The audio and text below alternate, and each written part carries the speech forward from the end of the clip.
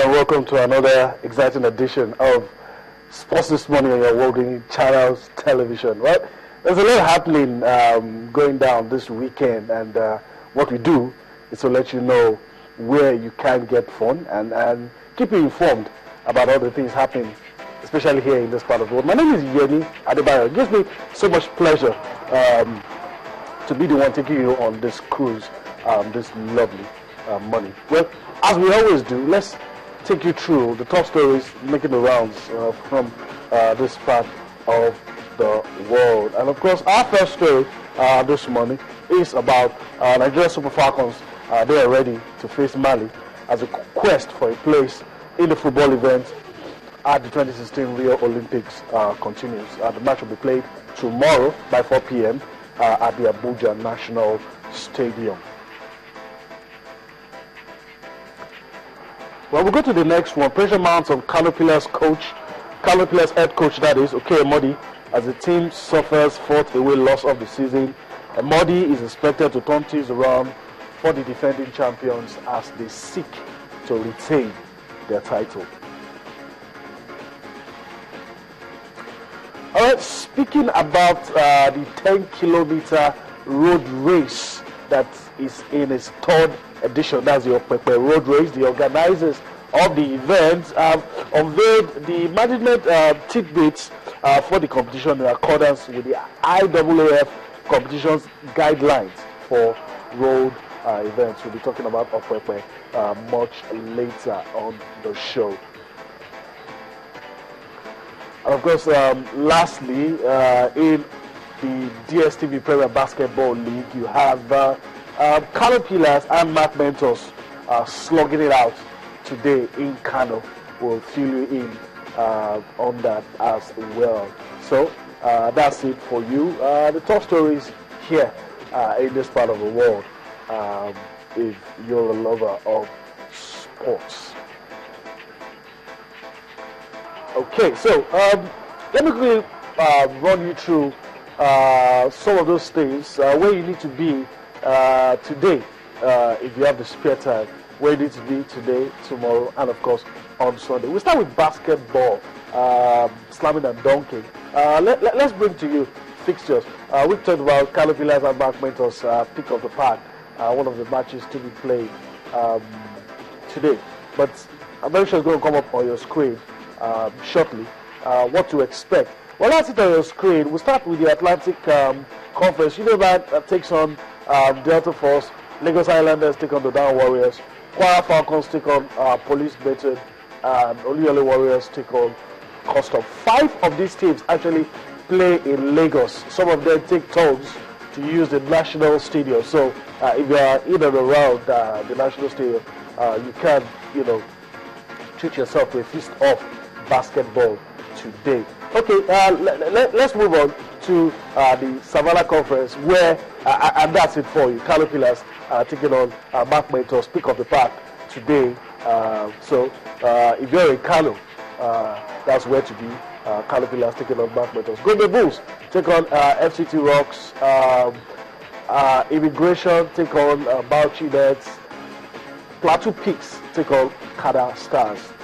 these are the fixtures for week um, six in the Premier Basketball League. Okay, we leave that one and switch to football. Uh, let's talk about uh, the Glo Premier League uh, that's in week eight. Uh, let's bring to you the fixtures. Uh, and of course, once again, I say if you're in and around some of these venues, try and you know see what's going on there. For uh, the Glo Premier League, uh, matches uh, to uh, be played. Uh, that's it on your screen. You have um, Taraba United taking on Gabriel, so you're taking on Giwa um, FC, Bayelsa United taking on Dolphin, Lobi Stars take on El Canary, Akwa United take on Wikki Tourist, Rangers take on Heartland, uh, and of course uh, Sunshine take on uh, Shooting Stars of Ibadan, Warriors take on Nasarawa United, Abia Warriors take on Kwara United, and Pillars Caterpillars, the defending champions, take on Sharks. All right, uh, so uh, if you are in any of those places, you are near the venues, uh, go and uh, enjoy yourself. Uh, there's a lot happening in Nigeria. We're going to go on a break. When we return, Cecilia Morogo joins me. We will be talking about the FIFA Women's World Cup. Uh, if we have time, talk about the Nigerian Women's League as well, and talk about so many other things uh, as regarding national teams in Nigeria. And of course, we'll, we'll cross over to uh, uh, England, England, well, and, and Zurich as well, uh, taking a little of, of politics, and we'll also also travel to Spain. Join us again. Welcome to the Channels TV app for the Nokia Lumia phone. Click on the Channels TV icon to get started. Get the latest news and stories, and you can also watch us live by clicking on the live TV icon. We have the eyewitness section so you can post events happening around you. To do that, click on the post. Select Change Media to send an image or video. Enter your username, report title, and report description. Don't forget to read and check the terms and policy box. Click on the post icon and your message will be delivered and could be used if it's newsworthy. Visit our topics page and view our various programs. Channels TV app for Nokia Lumia. The news at your fingertips. Welcome back. Cecilia Morogwe um, joins me. Well, I, am yet to correctly pronounce her name. I mean, Cici, good morning. I'm used to calling you Cici. Uh, but um, for those who are, you know, seeing us, what was the correct pronunciation of your surname? Omogbe. I'll stick to what I'm used to. Okay, Cici, good morning. Uh, uh, uh let's talk about the girls this morning. Um, we know there's an important game tomorrow. Yes, and there's it's 30 days approximately. Yeah, uh, 30 or 28. okay, uh, to to um, the, the World Cup. Yes. So, but, but, let's talk about tomorrow first before we look at the bigger picture. Yeah, yeah, basically they'll be playing in Mali again for the Olympic Games qualifier. That's that game. Whoever wins the game, both legs definitely going to qualify for Olympics. Remember, Nigeria did not qualify for the last one, so that's why all efforts is being geared on this one. So the girls want to ensure that they qualify for this. And if you check what they've done so far, you have the big stars actually, you know, for the tournament, a station whereby you had Zara Barnes, you had to travel all the way from France. You know, she was with the girls in the last mm -hmm. one against Mali. You have Enebon Umotong so she traveled all the way from London to be there. Petra Onkocha, she's also there. Although we're, gonna, we're not going to having Asisat Oshoala and Francisca Ordega. Okay. But with these girls that we have, we know that the girls definitely are ready to go. Now, in the build up to the games, they've been playing series of friendlies. They play against boys, and the last one they played was against City Strikers. That's on the 23 boys team. Although they lost that game, three goes to two. But at the end of the day, the performance alone was what actually impressed everyone. That was played on Wednesday night.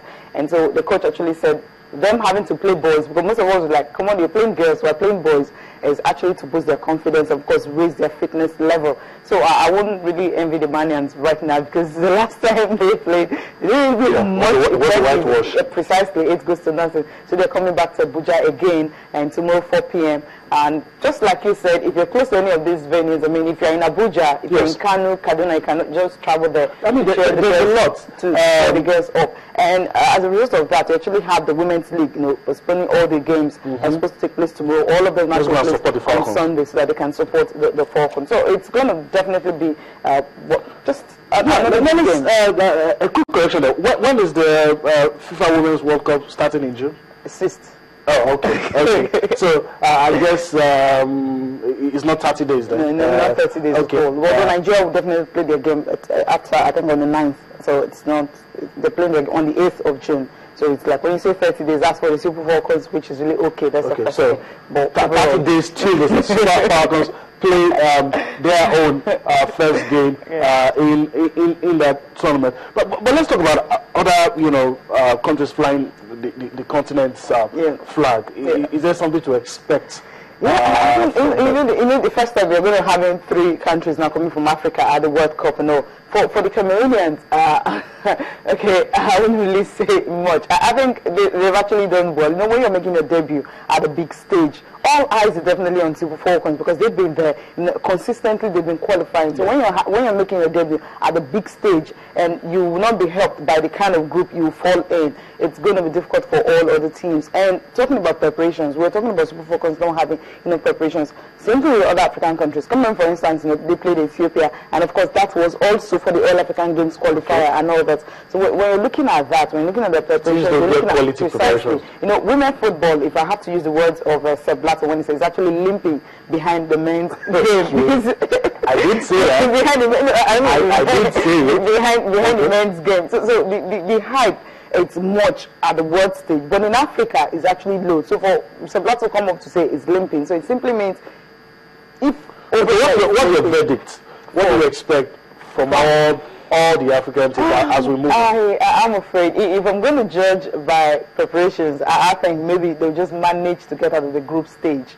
But that's for Nigeria, that's for the Super Falcons. But for other teams, I'm not guaranteeing them coming up from the group stage. But for the Super Falcons, of course, you know, they just always have this die-hard spirit that usually they survive with anything. So I think they can make it past And the they do have experience. They've got least uh, since 91. Yes, ex- experience is there. But when you're looking at preparations, I mean, we're afraid. We, we, we- we've seen what other countries have done. We've seen Australia release their team list since January.